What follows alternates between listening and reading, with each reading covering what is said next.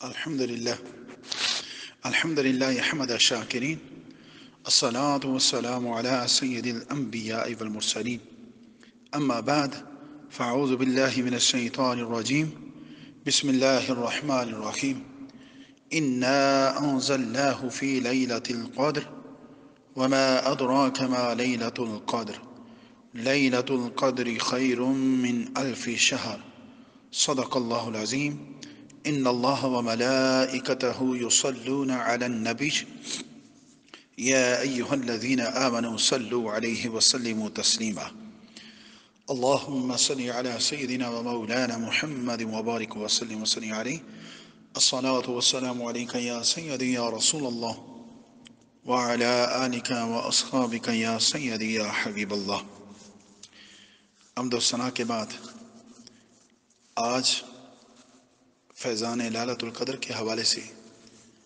कुछ बातें आपके सामने अर्ज़ करूँगा। तो दुआ फरमाएँ कि अल्लाह ताला सुन सुना कर हम सबको अमल की तोफ़ी अता फरमाए। आमीन सुम आमीन।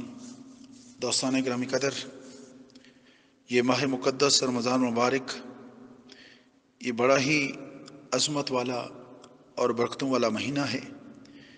इस माह मुबारक की अज़मत हजूर सैद आलम अलैहि वसल्लम ने यूँ बयान फरमाई कि इसका पहला हिस्सा रहमत, दरमियानी हिस्सा मगफ़रत और आखिरी हिस्सा जहन्नम से आज़ादी का है।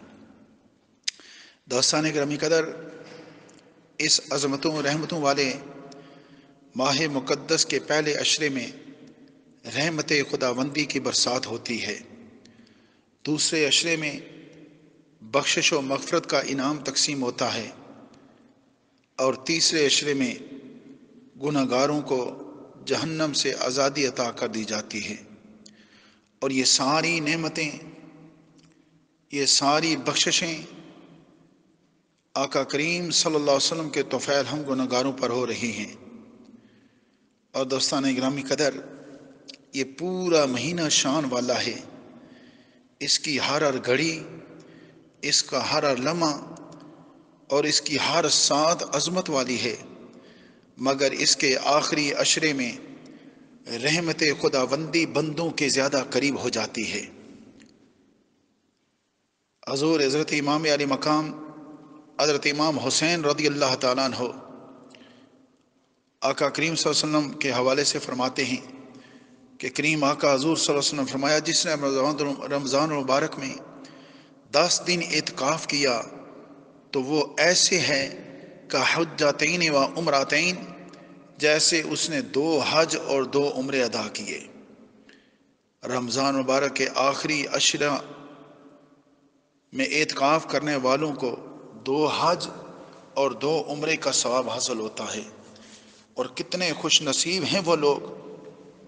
जो इस माह मुक़दस के आखिरी अशरा में एतकाफ़ करके उसकी बरक़ात से फैज़याब होते हैं, करीम के घर में उसके करम की भीख मांगते हैं, सखी की सखावत तलब करते हैं, रहमान और रहीम की बारगाह में रहम की अपील करते हैं, सत्तार गफ़ार की बारगाह में बख्शश व मगफरत का सवाल करते हैं, अपने खालिक व मालिक के हजूर दुनिया और आखरत के लिए बरक़ात हासिल करने की कोशिश करते हैं और शहनशाह अर्ज़ समा के मुक़दस घर, यानी मस्जिद में बिस्तर बिछाए अपने दामन फैलाए हुए रब कायनात से उसके महबूब का सदका मांगते हैं और उसके महबूब सल्लल्लाहु अलैहि वसल्लम का वास्ता पेश करके खैरात हस, मांगते हैं। दोस्तान ग्रामी कदर रमदान मुबारक के आखिरी अशरे के अयाम बिल्कुल करीब हैं। सैदा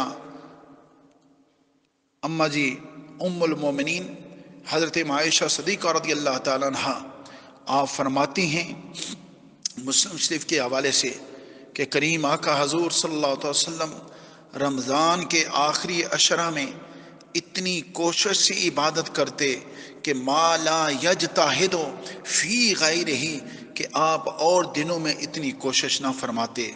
और बुखारी शरीफ के हवाले से सैदा आयशा सदीक़ा अल्लाह तहा फरमाती हैं कि आका करीम वसल्लम का मामूल था कि ईज़ा दाखल अशर कि जूँ ही ये रमदान शरीफ का आखिरी अशरा आता तो इबादत के लिए कमर बस्ता हो जाते, खुद रात भर रहदार रहते और अपने अहल खाना को बेदार रहने की तरगीब देते। तो दोस्तान ग्रामी कदर पता चला कि रमदान मुबारक के आखिरी अशरे की कितनी अजमत है कि ख़ुद सैद आलम वसल्लम इसमें खसूसियत के साथ इबादत और रियाजत में मशहूर रहते। इसकी रातों में शबदारी फरमाते और अपने अहल खाना को भी बेदार और इबादत और रियाजत में कब्र बस्ता रहने का शौक़ दिलाते। तो दोस्तान ग्रामी कदर, हमारे आका हजूर सल्लल्लाहु अलैहि तमाम नबियों और रसूलों के सरदार हैं और आप पर नाजुल होने वाली मुकदस किताब कुरान पाक तमाम आसमानी किताबों के सरदार है और जुमतुल मुबारक तमाम दिनों का सरदार है।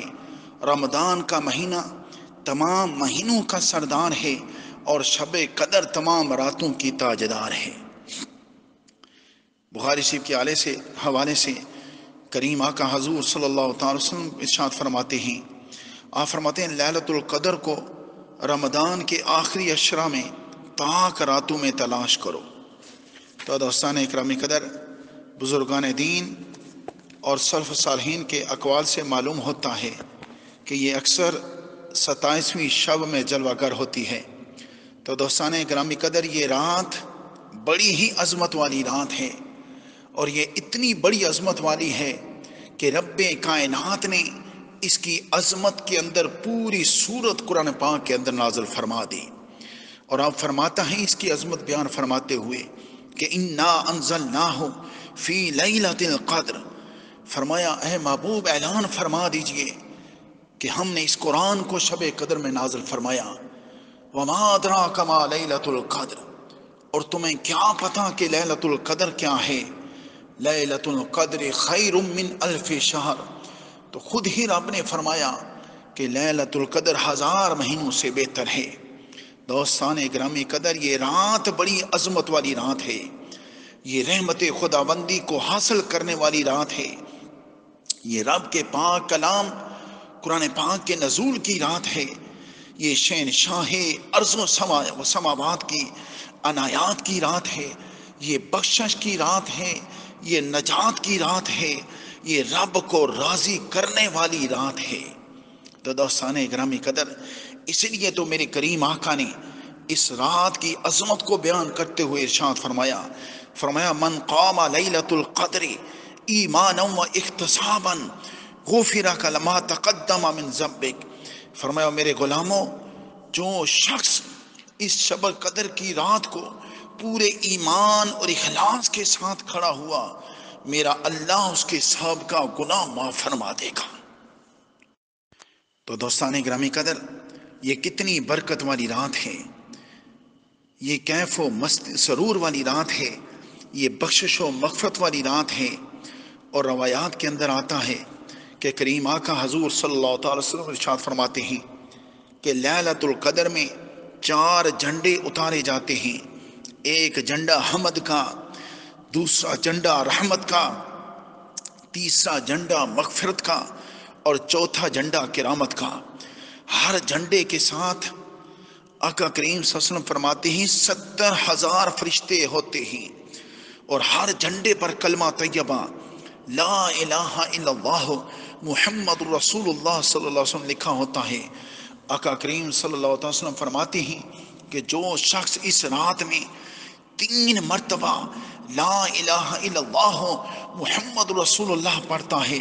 तो अल्लाह ताला उसके पहली मरतबा पढ़ने से उसके सारे गुनाह माफ़ फरमा देता है। और दूसरी मरतबा पढ़ने से दोजख से नजात अता फरमाता है। और तीसरी दफ़ा पढ़ने से मेरा अल्लाह उसे जन्नत में दाखिल फरमा देता है। दस्तान ग्रामी कदर, इस रात की अजमत शान के मुतलक बेशुमार रवायात हैं। आका करीम के ग़ुलामों, ये बड़ी ही रब को मनाने वाली रात है। ये बड़ी ही बरकत और बड़ी ही अजमत वाली रात है। और इस रात के अंदर इबादत के मतलब हदीस में आता है कि उम्मिन हज़रत सैदा आयशा सदीक़ा रदी अल्लाह तहा ने एक मरतबा करीम आका हजूर अलैहि वसल्लम की बारगाह में अर्ज़ किया कि, या रसूल अल्लाह वसल्लम, अगर मुझे लैलतुल कदर देखना नसीब हो जाए और मुझे मालूम हो जाए कि आज की रात ही शब कदर है तो ए आका, इसमें अल्लाह ताला की बारगाह से क्या तलब करूँ? तो करीम आका हजूर सल्लल्लाहु अलैहि वसल्लम ने शाह फरमाया कि, ए आयशा, तू अल्लाह की बारगाह में अर्ज़ करना कि अल्लाहुम्मा इन्ना का अफुवन करीम तो हिब्बुल अफवा फाफु अन्नी। अर्ज़ करना, ए अल्लाह, बेशक तू दरगुजर फरमाने वाला और करम फरमाने वाला है और तू दरगुजर करने को पसंद करता है, ए अल्लाह, मुझसे दरगुजर फरमा। हजरात ज़िकार लतुल्कदर में रहमत खुदाबंदी की बरसात का ये सिलसिला तुलूह फजर तक रहता है। और हज़रत इमाम फ़खरुद्दीन राज़ी रहमत ताली फरमाते हैं कि जब लतुल्कदर की सुबह होती है तो सैदना जब्राईल अमीन सलाम फरिश्तों से फरमाते हैं कि चलो चलो, वापस आसमानों पर चलो। तो फरिश्ते अर्ज़ करते हैं कि ए जब्राईल अमीन, आज की रात अल्लाह ताला ने अपने महबूब की उम्मत के साथ क्या मामला फरमाया? तो जनाब जब्राइल जवाब देते हैं कि इन नजरा इलहिम फरमाते हैं कि आज की रात अल्लाह ताला ने उमत मोहम्मदिया की तरफ़ नज़र रहमत फरमाई और उनसे दरगुजर फरमाई और उनकी मफरत फरमा दी। फरमाया, मगर चार किस्म के लोग वो हैं जो रहमत खुदाबंदी से आज की रात भी महरूम रह गए।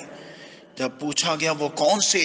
फरमाया, एक शराबी, दूसरा वालदेन का गुस्ताख, तीसरा काते रेन और चौथा कीना रखने वाला। दुआ है कि अल्लाह ताला हमें इस रात की अजमत और इस रात की इस रात का एहतराम और इसके अंदर इबादत करने की अल्लाह में तोफ़ी कता फ़रमाए। वालना इल्लल बलाग।